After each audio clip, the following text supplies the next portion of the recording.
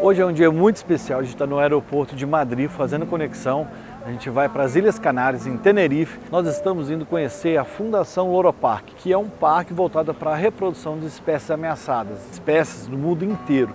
A fundação trabalha há vários anos com a arara azul de lir, uma espécie endêmica da caatinga brasileira. Os animais que estão reproduzindo em vida livre vieram da Fundação Loro Park. A gente vai poder conhecer essa instituição que é conhecida no mundo inteiro e também a gente vai ter o prazer de acompanhar a repatriação de três filhotes nascidos aqui que vão ser encaminhados através de uma parceria científica entre o Grupo de Pesquisa e Conservação da Arara Azul de Lir, ICMBio, CEMAV e a Fundação Louro Park, todos juntos para a conservação de uma espécie endêmica do Brasil.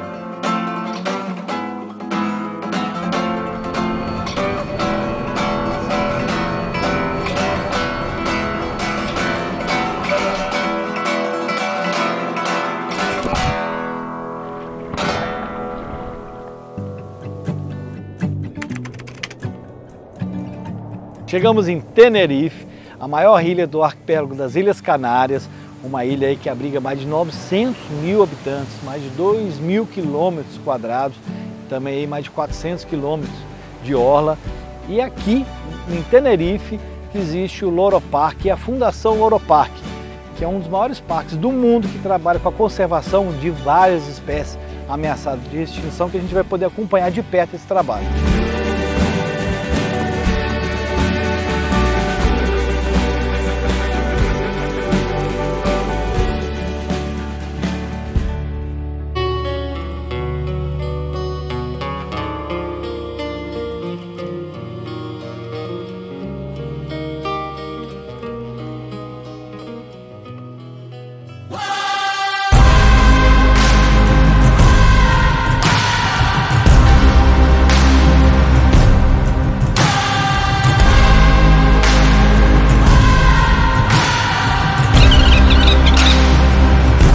Finalmente eu vou conhecer o Loro Park, um dos maiores zoológicos de referência internacional, e também conhecer um pouco dos bastidores. Confira aí.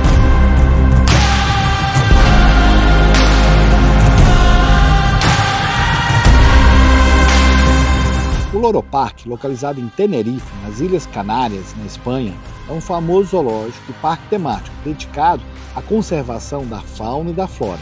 Fundado em 1972, o parque é especialmente conhecido por sua impressionante coleção de pistacídeos, com mais de 4 mil aves de 350 espécies diferentes.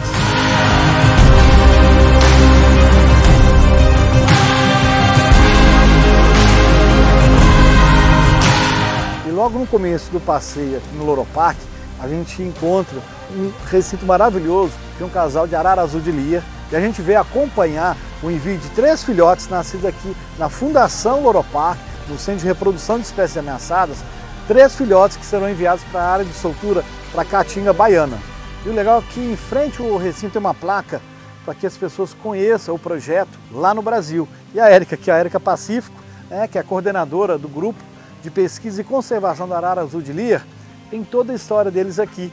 E é muito legal, e é um orgulho para nós brasileiros, né? Ter essa história tão importante sendo divulgada pelo mundo. O Loro Park abriga uma grande variedade de animais, como orcas, golfinhos, tigres, leões marinhos e pinguins. O parque também é um importante centro de pesquisa e conservação, participando de diversos programas de proteção e reabilitação de espécies ameaçadas de extinção. Seu ambiente exuberante e atrações interativas fazem do Loro Park um destino popular para famílias e amantes da natureza. Embora o parque seja simplesmente maravilhoso, seguimos diretamente para a Fundação Loro Parque, onde podemos conhecer mais sobre os projetos de conservação e pesquisa da Fundação.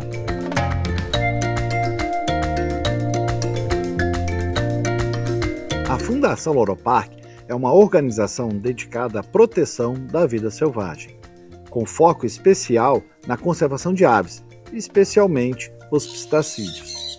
Fundada em 1994, ela realiza projetos de pesquisa, educação e reabilitação de espécies ameaçadas, colaborando com diversas instituições e parques ao redor do mundo. Quem vai nos receber nessa visita é a brasileira Márcia, que vai nos mostrar todo esse paraíso aqui, voltado para conservação. Márcia, finalmente, hein? Tudo bom? Tudo ótimo. Bom prazer demais. imenso ter você aqui. Prazer é nosso e finalmente conhecer o Loro Park, que eu sempre ouvi falar, né? a vida inteira Loro Park é muito bem né, conhecido mundialmente e poder estar aqui e com você nos recebendo melhor ainda, né? Para mim é, é um prazer enorme, não só porque eu sou brasileira, carioca, mas também porque eu trabalho aqui há oito anos como curadora né, das, das aves, de toda essa coleção. Uma referência mundial né, da conservação e sendo brasileiro é orgulho nosso como brasileiro, né? Ter, ter você nessa, nesse ponto de referência mundial, né? Aham. E ter a gente poder contar essa história, né? Então, aqui a gente está no centro de cria do Loro Parque Fundação. Então, aqui a gente tem dois núcleos que eu vou mostrar para vocês. Um núcleo que a gente tem uma temperatura e uma umidade um pouquinho diferente do outro núcleo e com isso a gente consegue assim brincar São um pouquinho. du- Duas grandes áreas, Isso. essa com a tela com sombrite mais escuro, que é a do tropical. É, Isso. aqui a gente consegue criar melhor os animais tropicais. E a gente tem a área é, azul, Que é com a tela que a azul. gente tem mais é, uma área mais, com menos umidade, que a gente consegue trabalhar melhor a- animais que vivem em áreas abertas, como alguns ambientes de Austrália, assim. Então a gente consegue fazer microclima, microclimas, microclimas visando a reprodução. é, é, visando sempre a reprodução. Então, aqui a gente está nesse primeiro núcleo que eu estava comentando contigo, que é o núcleo é, que a gente trabalha melhor com os animais tropicais. Por quê? Porque a gente tem essa malha... Esse sombrite, esse né? sombrite, Tipo um sombrite. exatamente, esse sombrite que é, controla um pouco a entrada de luz. Então a gente tem uma temperatura até um pouco mais baixa, mas a gente tem uma umidade muito, muito forte. Então é bem aqui a gente- tropical mesmo, né? é, é reproduzindo um pouco a- animais de floresta, Sim. ok? Então aqui a gente consegue trabalhar melhor esses animais. A gente também quis entender por que o Loroparque escolheu esse cantinho paradisíaco do planeta como seu lar. Vamos conhecer um pouco mais dessa ilha vulcânica maravilhosa. Para conhecer um pouco mais sobre a ilha, a gente veio ao Parque del Dragon conhecer esse gigante de 800 anos. É uma espécie endêmica daqui, é uma dracaena, uma árvore típica dessa região. É espécie ameaçada de extinção, então eles têm esse parque aqui para reverenciar esse ponto maravilhoso, essa árvore linda.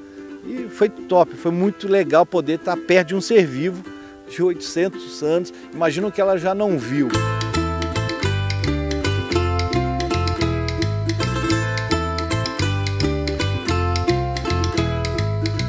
Durante nossa estadia em Tenerife, na Espanha, tivemos a chance de conhecer lugares incríveis que mostram por que a ilha foi escolhida para abrigar o parque.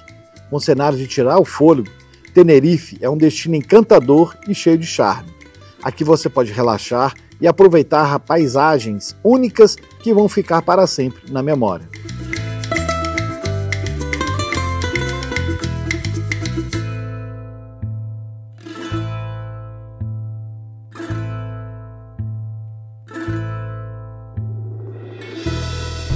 É maravilhoso. É uma beleza totalmente diferente do que a gente está acostumado a, a ver no Brasil, né? Então, assim, é indescritível.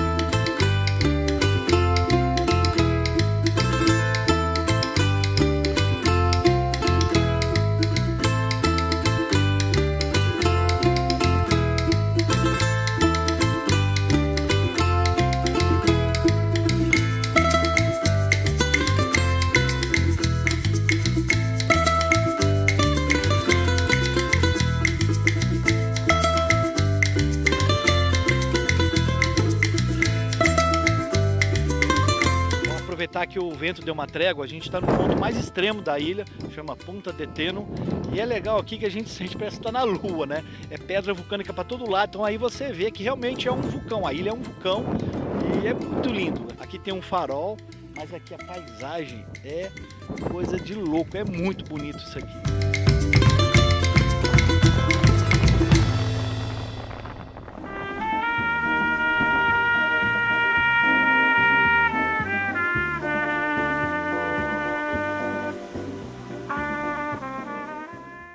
De volta ao Loro Park, é impossível não se impressionar.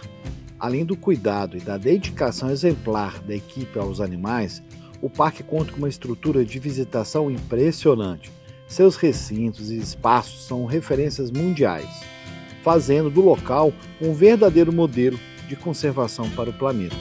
Estamos dentro do recinto Catandra, é um recinto gigante de mais de 20 metros de altura, onde os animais ficam soltos, é um recinto de imersão. O que é o recinto de imersão? As pessoas entram nesse recinto e as aves estão literalmente soltas aqui. E você tem uma quantidade de aves, de aves aqui absurdas. Só para vocês terem uma noção, olha a quantidade de espécies que convivem aqui juntas. É praticamente como se elas estivessem soltas na natureza, que aqui elas conseguem expressar seu comportamento natural, porque elas estão livres aqui, elas se reproduzem aqui, é como se estivesse na natureza. E é muito alto, é 20 metros de altura. Né? E tem uma parte de arvorismo lá em cima, o interessante é que você consegue ficar junto às aves que usam o substrato mais de cima das árvores. Isso é muito interessante para quem vem visitar o parque e principalmente para a qualidade de vida das aves.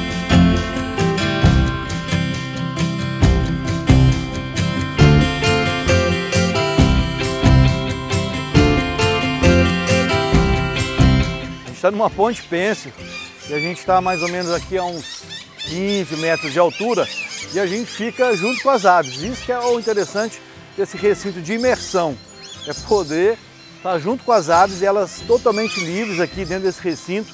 E ele é muito alto, a gente está em mais ou menos 15 metros de altura, a ponte pêncil aqui, e ainda tem muita coisa para cima aqui, é um recinto maravilhoso.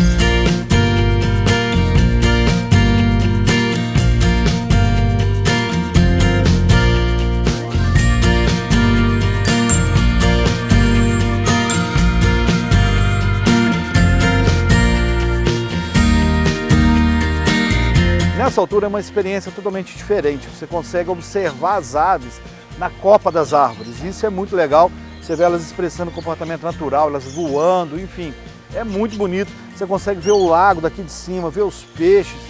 É, e aqui é muito verde, muitas árvores, enfim. É um recinto maravilhoso. As árvores passando por que lado.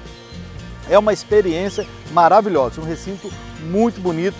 Isso aqui é bem-estar animal. Isso aqui, sim, é muito interessante.